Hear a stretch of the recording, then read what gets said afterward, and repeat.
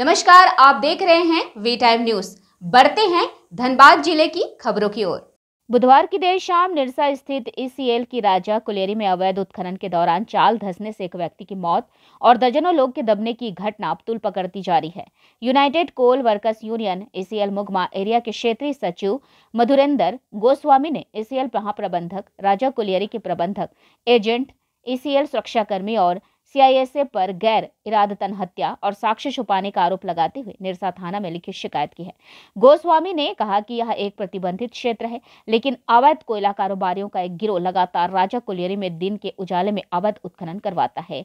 अवैध उत्खनन में प्रतिदिन सैकड़ों की संख्या में कोयला चोर कोयला काटने का काम करते हैं। एसीएल महाप्रबंधक, राजा कुलेरी के प्रबंधक, एजेंट, एसीएल सुरक्षाकर्मी और सीआईएसएफ सभी लोग अवैध कोयला कारोबारियों को संरक्षण देने का काम करते हैं। इसके एवज में अवैध कोयला कारोबारियों द्वारा उन्हें भेंट स्वरूप मोटी रकम दी जाती है। गोस्वामी ने आरोप लगाया कि कल की घटना के बाद ईसीएल प्रबंधन ने जिला प्रशासन को सूचना देना मुनासिब नहीं समझा। बिना मजिस्ट्रेट की नियुक्ति के ही रेस्क्यू का काम शुरू कर दिया। ईसीएल प्रबंधन द्वारा इस तरह की कार्रवाई यह साफ़ दर्शाती है कि प्रबंधन साक्ष्य छुपाने का काम कर रहा है। गोस्वामी ने कहा कि अगर जिला प्रशासन इन लोगों पर कार्रवाई नहीं करता है तो आने वाले दिनों में कोल वर्कर्स यूनियन के बैनर तले जोरदार आंदोलन किया जाएगा। कल निरसा के राजा कोलेरी में अवैध खनन के दौरान चाल धसने से एक 25 वर्षीय नौजवान की मृत्यु हो गई और कई लोगों के दबे होने की सूचना वहाँ से प्राप्त हो रही है। मेरा कहना है कि एक प्रतिबंधित क्षेत्र में, जो ईसीएल का कार्य क्षेत्र है, वहाँ पर बड़ी संख्या में सैकड़ों की संख्या में प्रतिदिन वहाँ पर लोग अवैध खनन के लिए जाते हैं। ये पूरा काम जो है एक संगठित गिरोह की ओर से चलता है। और इस संगठित गिरोह को संरक्षण मिलता है ईसीएल के महाप्रबंधक की ओर से ईसीएल के जो सुरक्षा विभाग के लोग हैं उनकी ओर से सीआईएसएफ के लोग से, ये सारे लोग जो हैं इसमें मिले हुए हैं। और मिल करके संरक्षण प्राप्त, संरक्षण देते हैं। जिनके ऊपर चोरी रोकने की ज़िम्मेदारी है, वो लोग संरक्षण देते हैं और उनके संरक्षण के कारण से ही इस प्रकार का अवैध उत्खनन का काम लंबे समय से चल रहा था। कई बार ऐसी घटनाएँ होती हैं। इस बार भी बड़ी घटना हुई है।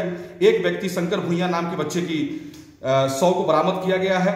कई लोग घायल हैं और कई लोग के दबे होने की भी सूचना मिल रही है।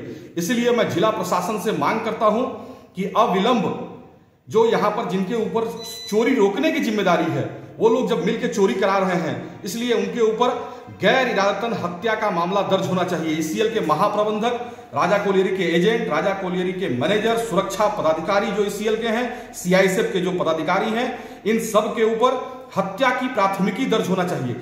और मैं एक विशेष जानकारी देना चाहता हूँ कि ये पूरा जो घटना घटने के बाद जो रेस्क्यू अभियान चलाया गया, इन्हें तत्काल डीजीएमएस के नॉर्म्स के अनुसार इन्हें डीजीएमएस को सूचना देना था ईसीएल प्रबंधन को ईसीएल प्रबंधन को जिला प्रशासन को देना था, मजिस्ट्रेट की उपस्थिति में रेस्क्यू अभियान चलना चाहिए था।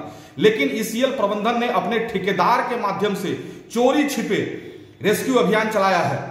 इसके लिए साक्ष्य छुपाने का प्रयास ईसीएल प्रबंधन ने किया है। इसलिए मैं थाना प्रभारी को पत्र लिख रहा हूँ कि ईसीएल प्रबंधन पर साक्ष्य छुपाने का और गैर इरादतन हत्या की प्राथमिकी ईसीएल मुकमा क्षेत्र के महाप्रबंधक एजेंट, मैनेजर सीआईसी पदाधिकारी और सुरक्षा पदाधिकारियों पर दर्ज किया जाए। इसके लिए मैं आवेदन दे रहा हूँ। यदि जिला प्रशासन इन पर दर्ज नहीं करता है तो आने वाले समय में यूनाइटेड कोल वर्कर्स यूनियन के बैनर तले हम आंदोलन करने का काम करेंगे। न्यूज़ के लिए से विकी सलूजा की रिपोर्ट।